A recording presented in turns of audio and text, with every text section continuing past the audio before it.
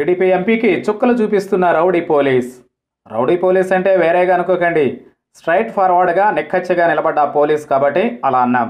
ఆ అధికారి రూటే సెపరేట్. ఈ మధ్యనే ఒక నేతపై మేస మెలేసిన అధికారి వ్యవహారం అనంతపురం జిల్లాలో సంచలనం రేపింది. ఈ పంచాయతీ హైకోర్టు వరకు చేరింది. ఆయన పేరు గోరంట్ల మాధవ్. పోలీస్ శాఖలో సిఐ. ఆ శాఖలో విధుల్లో చేరినప్పటి నుంచి ఈయనదో స్టైల్ అధికారాన్ని అడ్డం పెట్టుకుని పెత్తనం చెలాయించే రాజకీయ నేతలను సైతం కౌన్సిలింగ్ పేరుతో గట్టిగానే షాక్లు ఇస్తారు. మాధవ్ వ్యవహారం నచ్చని నేతలు పలు సందర్భాల్లో ఉన్నతాధికారులపై ఒత్తిడి తెచ్చి వీఆర్కు పంపిన ఘటనలున్నాయి.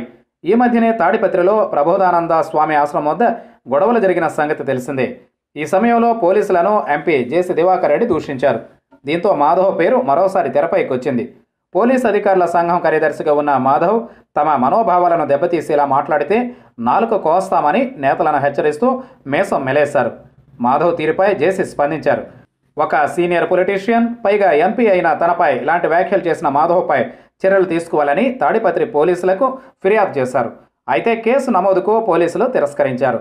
ఈ నేపథ్యంలో హైకోర్టులో ఎంపీ దివాకర్ రెడ్డి పిటిషన్ దాఖలు చేశారు. పార్లమెంటుకు కూడా ఫిర్యాదు చేశారు. ఈ అంశంపై రకరకాల చర్చలు సాగుతున్నాయి. మాధవ్ చర్యలను పోలీసు ఉన్నతాధికారులు బహిరంగంగా మద్దతు పలకకపోయినా పరోక్షంగా మాత్రం ఆయనను సమర్థిస్తున్నారట.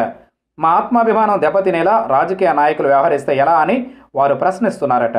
ఇదిలా ఉంటే హైకోర్టుకు వెళ్ళినప్పుడు మాధవ్కు అక్కడ న్యాయవాదులు మొదలు కొందరు ప్రజాప్రతినిధులు కూడా మద్దతు పలికారట. ఎంపీ జేసీ వంటి సీనియర్ నాయకుడు నిగ్రహం కోల్పోయి ప్రభుత్వంపైన పోలీసు యంత్రాంగంపైన దురుసుగా మాట్లాడడం తగదని సూచించినట్లు సమాచారం. ఢిల్లీలో పార్లమెంటు కమిటీ ముందు హాజరవడానికి మాజీ ఎమ్మెల్సీ ప్రొఫెసర్ నాగేశ్వర్ సహా పలువురు న్యాయవాదులు సిద్ధపడుతున్నట్లు సమాచారం. మరోవైపు మాధవ్ వ్యవహారంపై ఇరవై రోజులుగా తమ అభిప్రాయం చెప్పమని పోలీసు ఉన్నతాధికారులను హైకోర్టు ఆదేశించింది. మాధవ్ కూడా ఎంపీ జేసీ దివాకర్ రెడ్డిపై వ్యక్తిగత కేసు వేయడానికి సన్నాహాలు చేస్తున్నట్లు సమాచారం. పోలీసుల పట్ల పలు సందర్భాల్లో జేసీ దురుసుగా మాట్లాడిన ప్రతి అంశాన్ని కోర్టుకు మాధవ్ సమర్పించబోతున్నారట.